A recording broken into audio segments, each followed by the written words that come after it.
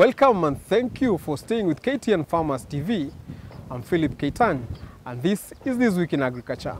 Today I'm joined by Chris Simba who will help us in analyzing some of the stories that made headlines this week. Chris, please tell us a little bit about yourself. Thank you, Philip. Uh, as you rightly mentioned, my name is Chris Simba. I work for Kenya Markets Trust as a policy and research analyst.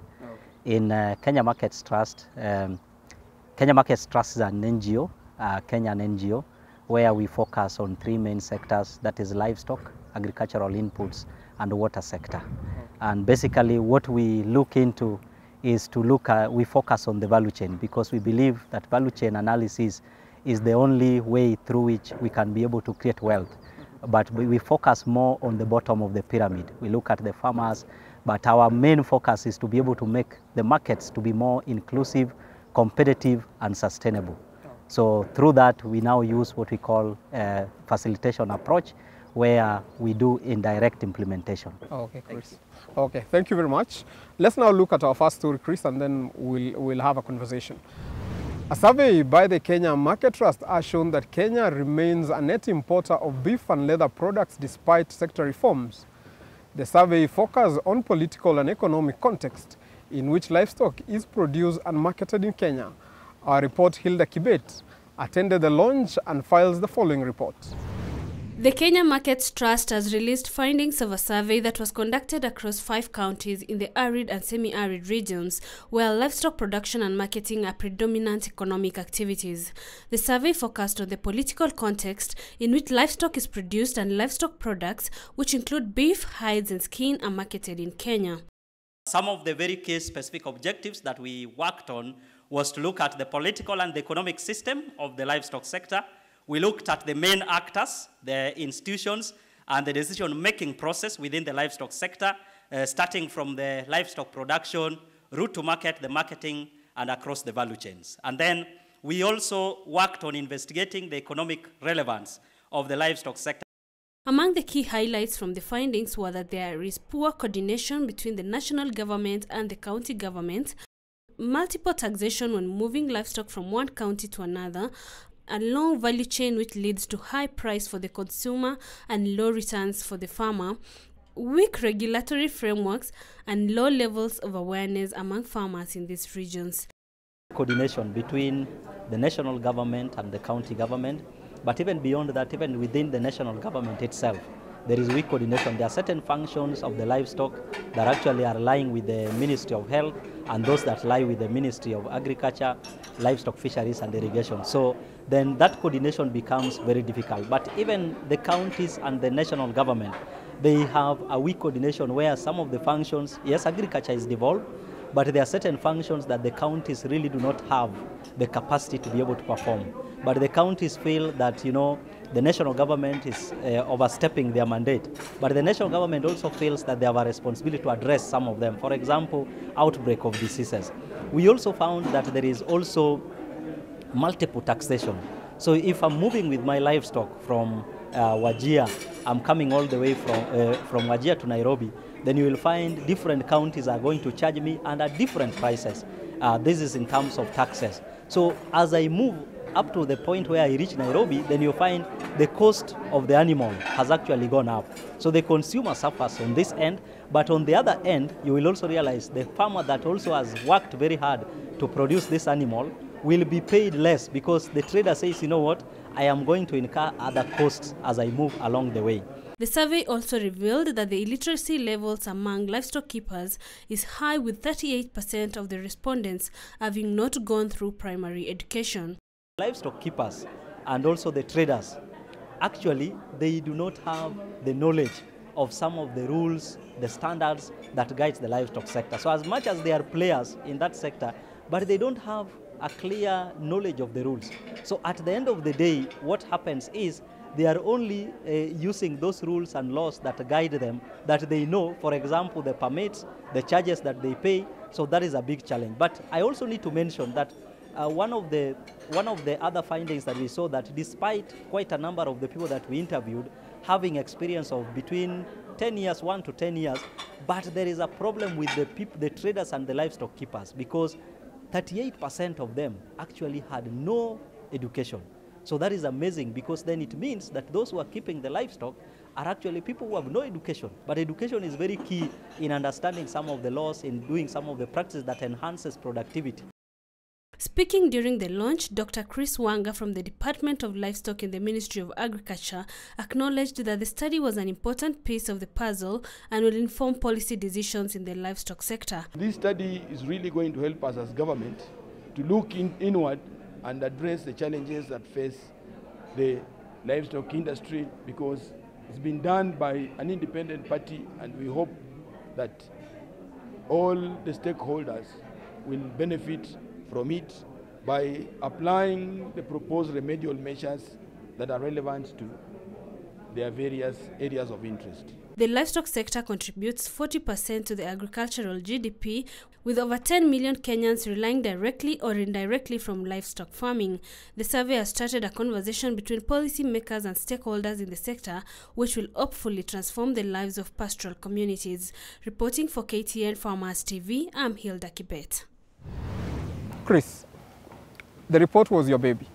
Maybe tell us what informed the decision to do the report in the first place. As you already mentioned, we looked at the politics and the economics of the livestock sector. And the motivation behind, behind this was, uh, is, was because of the increasing demand for meat and other uh, livestock products. And then we are also looking at the important contribution of the livestock sector in terms of what to GDP, to employment, the livelihoods that it supports, and also the linkages between livestock sector and other sectors of economy. And so because of the important role that it plays in terms of these linkages and also as a foreign exchange earner and the potential it has to raise the livelihood of the people, majorly the pastoralists and income levels of the lower level cadre, we thought that it was important to see why then can we not, why then can we not enhance the livestock sector despite the reforms that are being done. So what are the politics and the economics at play in the livestock sector? Okay. And so, so what were some of the findings that you, you, you found in, in your research? Very interesting findings. If you look at uh, what this study aimed to achieve, one of the key things that we found is that there is very limited allocation, budget, budgetary allocation by counties to the livestock sector. Uh, Malabo declaration uh, really demands that at least the government, the national government should give about 10% of the national, of the national budget to agriculture. But it was interesting to note that even down at the county levels, some of the counties actually, uh, their mainstay is livestock, but their allocation to the livestock is quite low. So that was amazing to us. So there is very low budgetary allocation, 5.81. Uh, I think it was uh, Turkana that uh, gave more, you know, uh, it, sorry, that gave more about 7.81 of the total budget. That was one. The, the other finding that we found is what we are calling multiple taxation.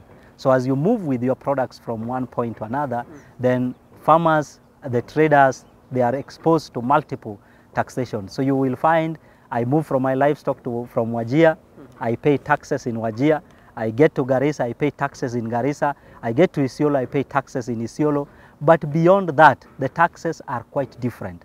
So there is no predictability. So you really cannot understand what, how much is expected of me as I get to Garissa. Uh, so that was also another finding. Another finding that we found that you see, these livestock keepers and the traders, who are the main players in the livestock sector, actually they have uh, very limited level of education. For example, 38% of those who are participating in the livestock sector are actually with no education at all. And uh, you know, that is amazing because you know, there are many other things that are involved in livestock sector, including disease control and a number of many other things that really requires you to have some little education. If you are to improve productivity, then that comes into play. So that was also a concern to us. Chris, what were some of the recommendations that uh, the report has? Uh, some of the recommendations, for example, I didn't mention about the climatic changes that are also affecting the livestock, the pastoralism system, whereby you find, you know, the pastoralist kind of behavior of moving with animal from one point to another. So then when, you know, it, diseases come or an outbreak comes, it's very difficult to control. So just looking at that, one strong recommendation that this study uh, puts forward is the need to be able to keep few but quality animals. Because then if you keep few but quality animals, then you can be assured of productivity, you can be assured of management, you can be able to manage them in a better way, following all the principles and the practices that are required in terms of taking care of the livestock. Uh, the, other, the other recommendation that we found that we would want to give also as we looked through this there are abattoirs that are coming up. The infrastructure is quite a challenge to many of the counties and many of the pastoralists how the animals move from one point to another is a challenge because of the bad roads and they are not able to be to be fed properly. So to be able to address that there is need for key stakeholders especially development partners to come forward and be able to support in terms of the infrastructure development. It is also important that the main focus of the county and the national government is to be able to improve the livelihoods of these people so that there are no, you know, no fights, but it is more about the coordinated role. The objective is achieved. Uh, we mentioned earlier that this report shows that quite a number of the traders do not have any formal education. While we don't recommend that they go back to school because perhaps their age may not allow them, but it will be an interesting bit to be able to give them some of the necessary training skills so that they can be able to have some of the you know, management skills on how to manage the animals, some of the diseases that may not require the public health officers. The extension officers are also quite few in the pastoralist areas. So then they can be able really to manage some of those things and produce quality, but few quality animals. So that will be very important. Okay. Yes. I, I totally agree with you. Um, yes, they may not be able to go back to school, but they can be given some little training here and there. And I am sure this we can keep on on this report until there's a lot of findings that you came up with. But uh, we don't have enough time for today. Maybe we'll, we'll pick it next time. Let's just look at our next story and then we, we, we move on. Farmers in Uasin Gishu County have been encouraged to start beekeeping as a way of boosting their livelihood.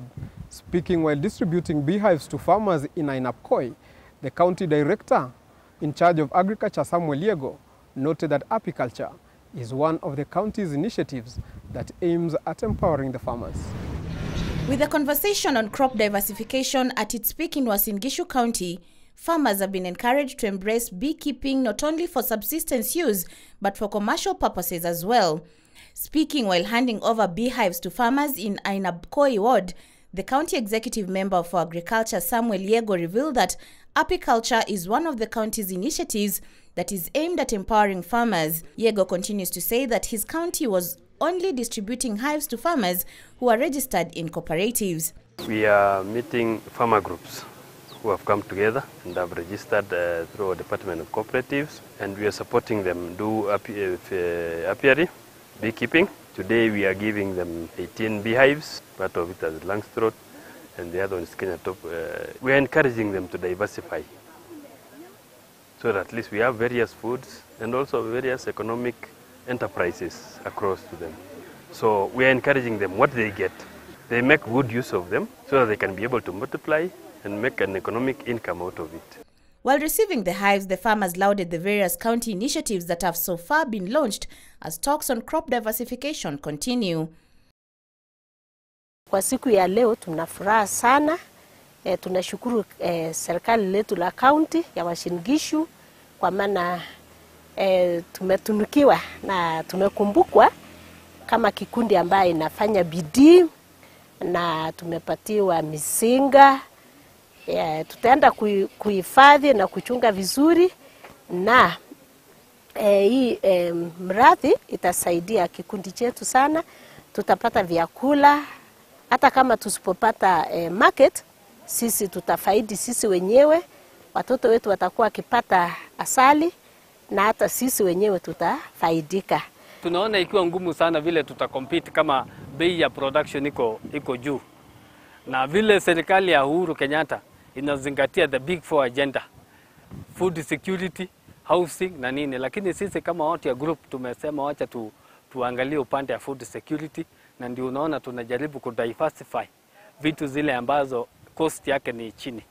Kwa mfano hizi nyuki tunapata sasa, tunapofuga hizi nyuki ni pati ya chakula, ni pati ya dawa na pie products yake tunaona tunaweza kuikuza kui.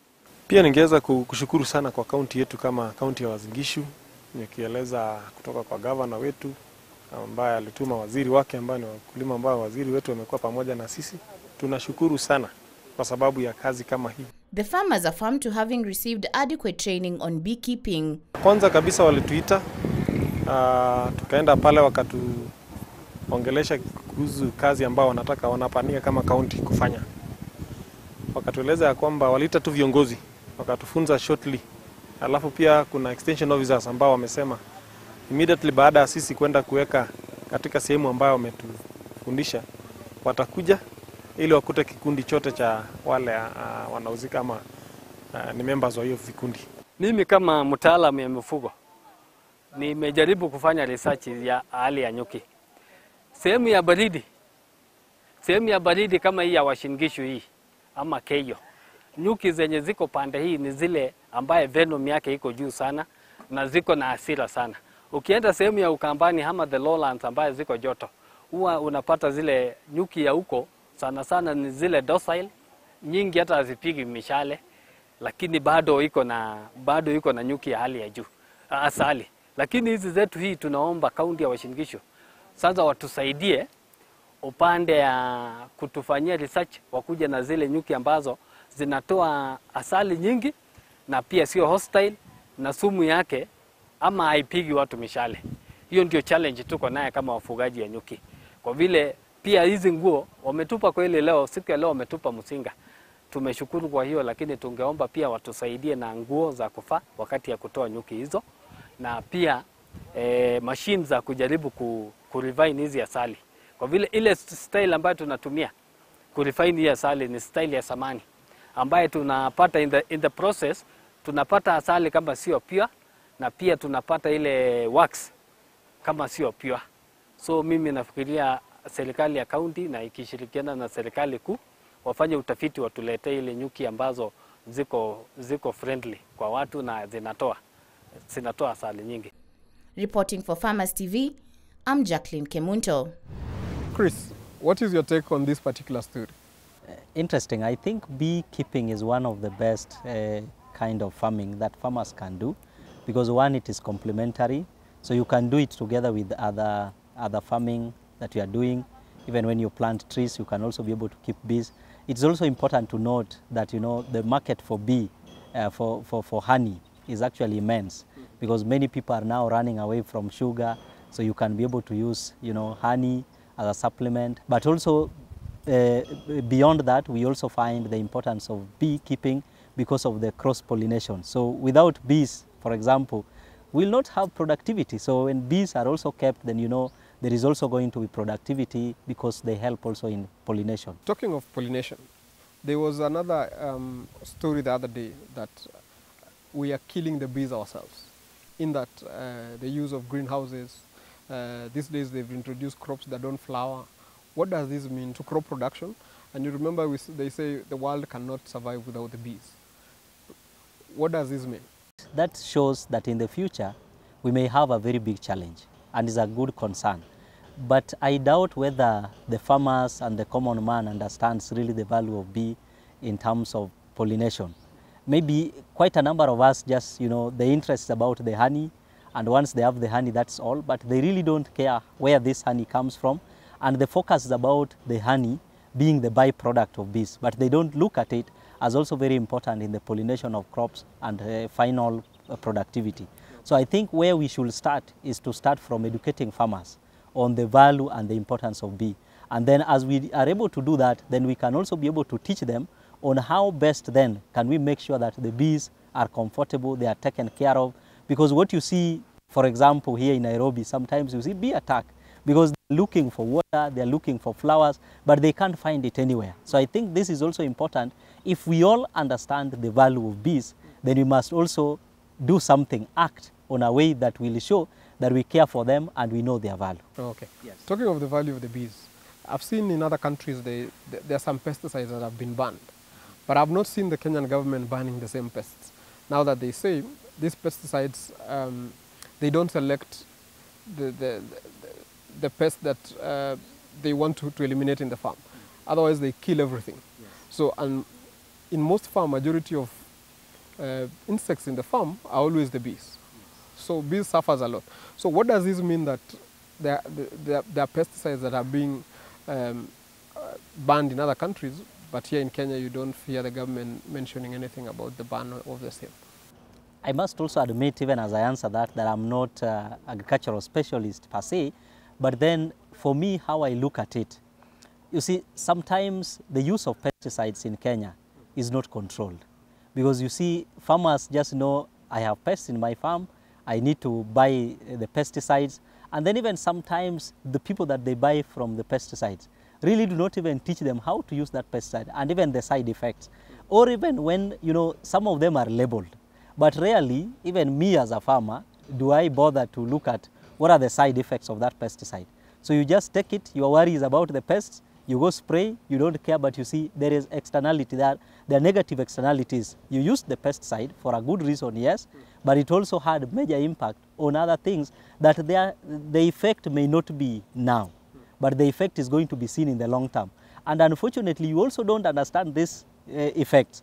So you need somebody really to educate you and to tell you. But because we have also subscribed to the international practices, it will also be very important for us really to understand which kind of pests, pesticides have been, uh, ha have been stopped in terms of usage in other countries and why have they been stopped and how does it also apply in the Kenyan context because perhaps they could be stopped in other countries uh, because of other reasons, not just because of the pollination, because of the bees and all that, but really if it within the Kenyan context is applicable within the Kenyan context, then the expectation is also just that we also need to stop using them. But I find the major challenge is our farmers really do not know uh, or do not bother about the side effects of this pesticide. Okay. And do you think going forward, do you think our kids really know the value of the bees? Or do, you, do they even know where the honey comes from? Some know, some know, but some really do not know. Because you see, even as parents, uh, the good thing about uh, honey is that many times you see the bee drone. But unfortunately, those children that are brought up in Nairobi, they are brought up in town, they have never seen bees, or when they see bees, they only see them as enemies. So one of the things that I think we have a responsibility to do is also to understand our past, to understand where are we coming from, so that we also are able to teach our children about nature. Uh, bees, we need to tell them, you know, this honey that you take, it comes from the bees. And this is how bees look like. I will be very interested uh, uh, for lack of information. I really do not know whether we have a center or, you know, we can have an attraction where we can be able to go visit beehives. People are able to see, so they see, okay, so this is how the bee looks like, this is how honey is being produced, this is the process through which it works. Because then, by that, then we can be able to start appreciating. Otherwise, many of us are only interested in the byproducts. We are not interested where it comes from, what we do, what, what, what kind of behaviors we, we ex exhibit that can be able to be harmful. We really don't care. Okay. Thank you very much, Chris. Now we'll take a short break, but we'll be back shortly.